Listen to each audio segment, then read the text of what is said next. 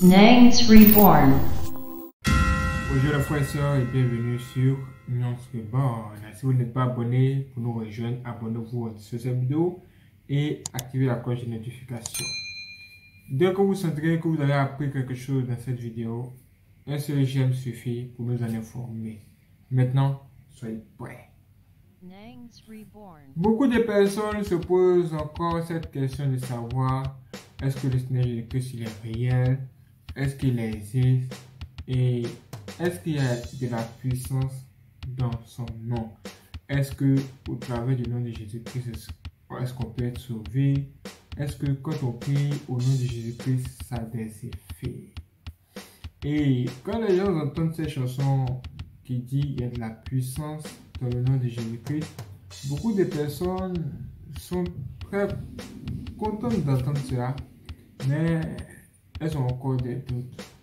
Et moi, je suis ici pour vous confirmer que effectivement, ce ne sont pas des histoires quand on vous dit qu'il y a de la puissance dans le nom de Jésus-Christ. Mes frères et sœurs, vous pouvez croire en tout et vous pouvez ne pas croire en tout. Mais n'oubliez pas qu'il y a une chose, chose à laquelle vous ne devez jamais douter, c'est l'existence de Dieu et du Fils de Dieu très haut. Tout ce que nous avons découvert dans la Bible au travers de tous ces événements, comment le Seigneur Jésus-Christ a été bon et les gens l'ont laissé pour un, homme, un autre homme méchant. Et comment le Seigneur Jésus-Christ est décédé, comment les gens l'ont crucifié, et comment après il a été ressuscité. Nangs Tout ce genre d'histoire, ça si vous pouvez croire et vous, vous avez le droit de ne pas croire aussi.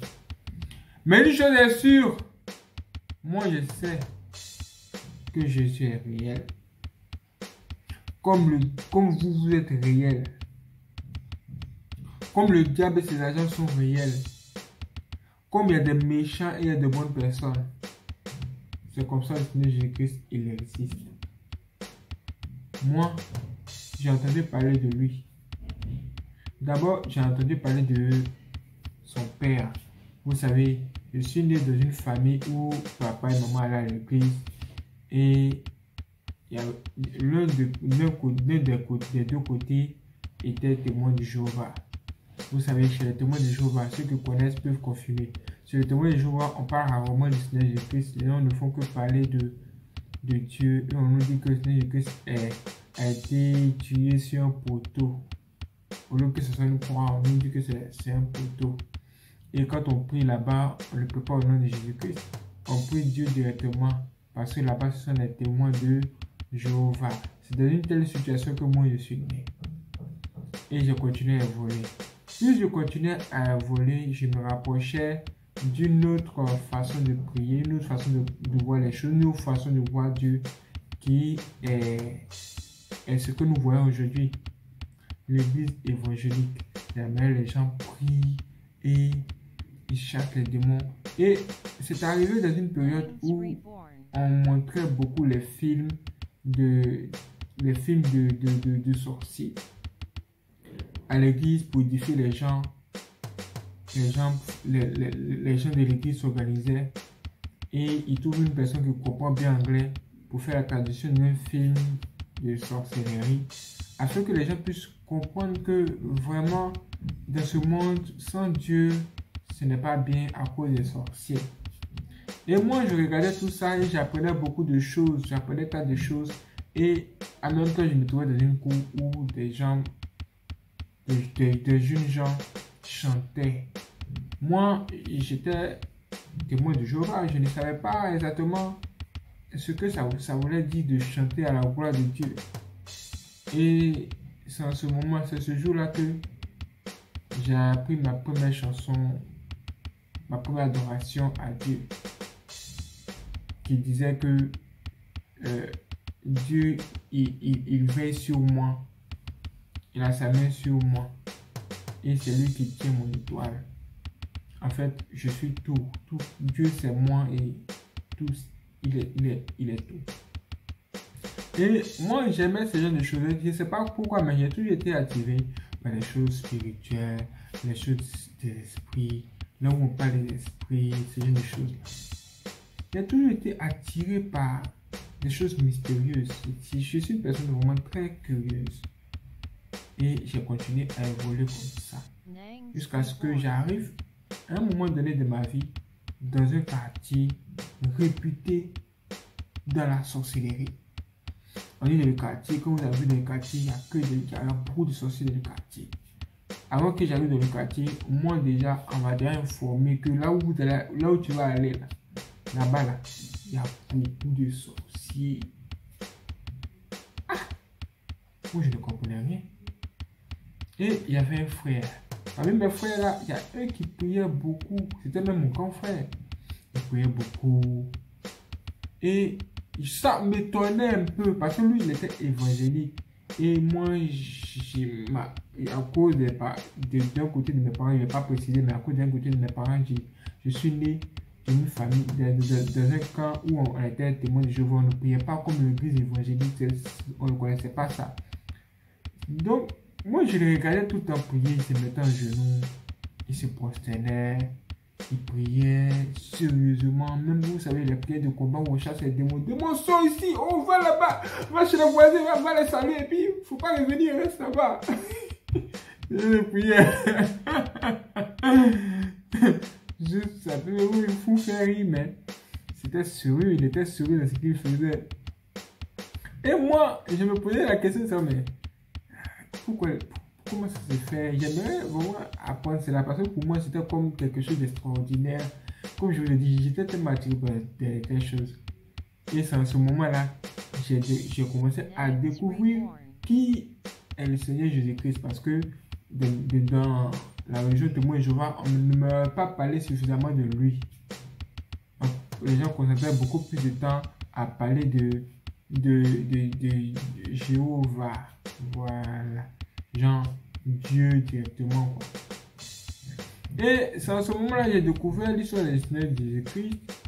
Et j'ai découvert qu'on doit prier au nom de Jésus. C'est à ce moment-là que j'ai découvert cela. Je peux dire que en ce moment, j'étais entre ceux, ceux 1 et ceux 2. Là, vous pouvez comprendre que j'étais encore enfant. Je ne sais pas quel âge j'avais en ce moment, mais j'avais moins de 14 ans. Moins de 14 ans. Et c'est plus tard, comme je vous l'ai dit, je suis arrivé dans ce quartier où il y avait beaucoup de la sorcellerie. Et c'est même dans une attaque des sorciers que je vais voir pour la première fois qu'il y a la puissance de le nom de Jésus. Et ça va me marquer à jamais jusqu'à aujourd'hui. Là, je suis passé de CE2 à la classe de, de, de, de, on va dire, quatrième et troisième. Là, on a vu dans un autre quartier, dans le où j'étais en classe de quatrième et troisième. Ah! Maintenant, j'ai remarqué que j'avais beaucoup remarqué que moi, quand j'étais en, en, en, classe d'examen, il y avait beaucoup de choses bizarres qui m'arrivaient. Je tombais beaucoup malade. Vraiment malade. Et à un moment donné, les parents même se disaient que, oh, voici, il y a tel mois qui arrive, c'est que Willy va tomber malade parce que on m'appelle Willy. Willy. Je m'appelle Jean Williams. Vous voyez, Jean Williams mais les gens ont l'habitude de m'appeler Willy, Willy, Willy, Willy. Donc, c'était un peu ça. Et ça me fatiguait beaucoup, surtout en période d'examen. Et en même temps, moi, je ne prenais pas tellement cela au sérieux. Je ne savais pas qu'il y avait une histoire de sorcellerie dedans ou la main du diable. Parce que il est clair que c'est pas normal qu'une personne tombe malade à, à, une date précise de l'année. Tout le temps, comme ça. Si ça vous arrive, n'acceptez pas ça. Pas normal. Et c'était des signes que j'observais beaucoup, mais je ne comprenais vraiment pas. Et voici qu'un jour, pendant que je serai en train de dormir, c'est-à-dire après avoir étudié la nuit aux environs de, de 4 heures du matin, bon, on va je tardivement, aux environs de, de, de, de 23h, 4h du matin, il finit, où je vais aller m'endormir. Je me suis souvenu que mon frère m'avait appris à prier. Ce seul jour où j'ai décidé de prier là, c'est ce seul jour-là que les sorciers sont venus m'attaquer. Je ne priais pas. le jour, je me suis décidé à prier. Qui m'a envoyé? Seigneur, qui m'a. Ce jour-là, je suis décidé à prier là. C'est même ce jour-là que des choses terribles se sont passées. Ce que j'ai vu jusqu'à aujourd'hui, je peux vous expliquer comme si ça venait de se passer. Ah! Je me suis agenouillé parce que mon, mon frère qui m'a appris à prier m'a dit que quand on prie devant Dieu, il faut se mettre à genoux. Donc je me suis mis à genoux et j'ai prié, j'ai dit, je disais un mot, un mot, un mot, un mot, un mot. C'était sûr, il fallait que le, nom de Jésus sorte de ses mains et puis ça fait mon affaire. C'était un comme ça. J'étais en train d'imaginer un enfant de 4, qui a, qui a cas de 4e et 3e. Je peux même dire qu'à partir du 6e, 5e, 4e et 3e, voilà, il peut dire que c'est c'est dans cet intervalle-là que ces choses-là se sont passées. Ah Et voici que j'ai fini de prier. Non, en fait, j'ai prié une, une, courte- une prière courte. Et en ce moment, même pour prier, même, c'est comme si j'étais même lourd. Mais ce jour-là, quelque chose s'est passé. J'avais vraiment bien prié. Moi-même, j'étais conscient que j'avais bien prié. Genre une prière où tu finis de prier et puis tu n'as plus, tu n'as pas tellement sommeil, tu n'es pas tellement assoupi, tu sens que tu es un peu libre. C'était une chose pareille. Et voici que j'ai fini de prier. mais- Hey, hey. Dès que j'ai fini de prier et que je me suis endormi, ça n'a pas duré. En même temps, je me retrouve quelque part. Quelque part. Quelque part. Ah! Et en même temps que je suis dans cet endroit-là, je peux moi-même me voir couché sur le lit. J'étais couché sur le lit. Tout le monde dormait autour de moi. Et c'est comme si je voyais mon corps. Et c'est comme s'il y avait quelque chose qui était assis sur moi. Et cette chose-là m'empê- empêchait mon corps de bouger. Ça m'empêchait de me réveiller. Ça m'empêchait de me lever. C'était vraiment terrible. En ce moment-là, je pouvais voir ce, que tout de moi. Je vois mes frères, je voyais mes frères. Ils étaient tous couchés là. J'appelle le nom, ils ne répondent pas. Mais en ce moment-là, ils, ne pouvaient pas se réveiller. Ou, eux non plus, ils ne pouvaient pas se réveiller. Parce que je criais tout doucement du genre. Fusion, Mathieu, Je parlais comme ça.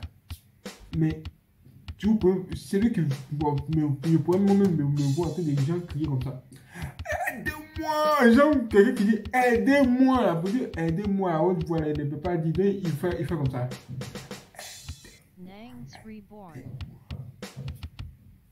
C'était un truc pareil. J'ai appelé tout le monde. Parce qu'ils sentaient, ils étaient couchés là. C'est comme si des gens étaient assis sur moi. C'est comme s'ils avaient mis des, des tonnes de sacs de riz sur mon, sur mon corps.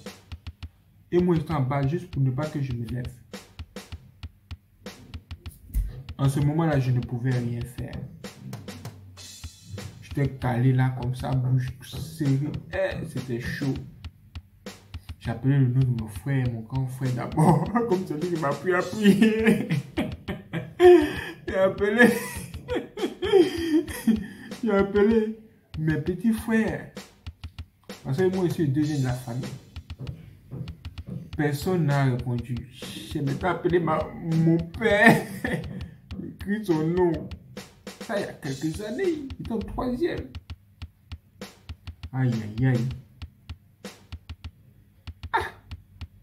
J'ai appelé tout le monde à mon secours. Parce que je sentais qu'il était en train de mourir, mais personne ne pouvait me, voir. Déjà, j'étais assis sur mon corps. sur moi, je sais pas. Je pouvais me voir, c'est comme si c'était sorti de mon corps, je me voyais. C'est pas de la blague, c'est pas témoignage de quelqu'un. Je vous dis, c'est moi-même. Vous parle à moi et moi ici, mais aujourd'hui, la Dieu me pousse à vous parler un peu. Il faut que je vous parle pour que les gens, les gens comprennent que la vie, c'est pas un jeu quand même. Écoutez-moi bien. En ce moment j'étais couché, j'appelais tout le monde à mon secours. Personne ne venait là. C'est là que je me suis souvenu curieusement que j'avais regardé un film, un film de sorciers où là-bas, des gens, quand ils se trouvaient en danger, ils appelaient Jésus-Christ et ça faisait fuir les sorciers. C'est en ce moment-là que j'ai eu la... J'ai tout fait pour pouvoir ouvrir juste la bouche pour dire je, je, Jésus. Ah! J'ai dit, quand j'ai dit Jésus et que j'ai réussi à dire Jésus, je n'ai même pas ajouté Christ. Toutes les choses qui se trouvaient sur moi qui m'empêchaient de me lever, de bouger en ce moment, qui faisaient que j'étais mourir. Tout ça, ça a disparu comme ça. Boum! Et je me suis levé en respirant comme si j'avais coupé mon souffle et que je me trouvais dans de l'eau. Vous voyez quand quelqu'un se trouve à couper son souffle et il est, dans, une piscine dans de l'eau Genre comme s'il veut, il veut, il veut voir s'il a fait une minute sans respirer. Et la manière il sort en, en étant essoufflé. Ah, ah. C'était la même chose. J'ai cru que c'était de la blague. Honnêtement, au départ, j'avais cru que c'était de la blague. Après, j'ai dit, oh, c'est l'histoire, je me suis encore endormi. Je me suis couché, ça n'a même pas fait 5 minutes, 10 minutes. La même chose a recommencé. Là, maintenant, là, c'est grave. Parce que je pouvais voir des gens habillés en noir autour d'un arbre en train de, m'appeler. Jésus, qui a envie de mourir, est là, qui a envie de mourir? Moi, je, je, voyais ça dans les films de, de sorciers, me montraient. Moi, je pensais que c'était des films. Je pensais que c'était des films. Mais comment se fait-il que ce soit réel? Là encore, là, j'ai appelé pour la deuxième fois Jésus. Et pour la deuxième fois, je me suis réveillé, levé de la même façon, ce en respirant de la sorte. C'est là que j'ai compris que sans doute il y a quelque chose qui se passe. Il faut que je me lève pour prier. C'est là que j'ai commencé à prier. Est-ce que c'est ce qu'il a dit à Dieu? Est-ce que c'est ce qu'il lui a dit? Il a dit Seigneur Jésus-Christ, je ne suis pas, passé par 24 chemins. Je ne suis pas passé par 70 milliards de chemins. Oh. J'ai dit Seigneur Jésus-Christ, ah, j'ai sommeil, pardon. Demain que je m'endorme, demain je dois aller à l'école. J'ai cours demain, aide-moi. Parce que je ne peux pas dormir. À cause des sorciers, les mondiaux. bon, ne sais pas Mais qu'est-ce qui s'est passé Et quand j'ai fini de prier comme ça, au nom de Jésus-Christ, je me suis endormi maintenant comme un bébé. J'étais même dépassé le matin quand je me suis réveillé. Je ne pourrais pas croire ce qui vient de se passer. C'est ce jour-là que j'ai cru que les sorciers existent et que le, nom de Jésus-Christ fait fuir les sorciers. Depuis ce jour jusqu'à aujourd'hui, je n'ai jamais m'endormi sans prier pour dire Jésus, viens à mon aide, viens à mon secours. Maintenant, je vous pose la question est-ce que le Seigneur Christ existe ou pas? Est-ce qu'il y a la puissance dans le nom de Jésus-Christ? Hey! Si tu me poses cette question, je ne vais pas trop, je vais pas te répondre rapidement. Je vais te rendre ce témoignage. C'est que moi j'ai vu et comment le nom de Jésus-Christ m'a sauvé ce jour-là? Ça m'a vraiment, été. Imaginez ce l'instant où j'ignorais que le nom de Jésus-Christ existait. Je n'ai même pas dit Jésus-Christ, j'ai dit Jésus, juste, juste Jésus. De ce jour-là, le nom de Jésus m'a aidé à me tirer d'affaires. Ça, c'était la première fois de ma vie que le nom de Jésus-Christ avait un impact spirituel dans ma vie et m'avait sauvé de la mort. La deuxième fois où c'est arrivé, là même c'était un cas de poison, empoisonnement. Mais je vais vous expliquer cela dans la prochaine vidéo. Vous allez comprendre comment Dieu m'a ressuscité. Je pense que vous allez comprendre certaines choses. Vous ne voulez pas manquer la prochaine vidéo? N'hésitez pas à vous abonner à activer la cloche et priez pour moi que Dieu me donne la force afin de pouvoir faire la prochaine vidéo qui réunit tout simplement. Je vais vous expliquer, vous faire comprendre que Jésus est Seigneur. Jésus est réel. Nangs Reborn.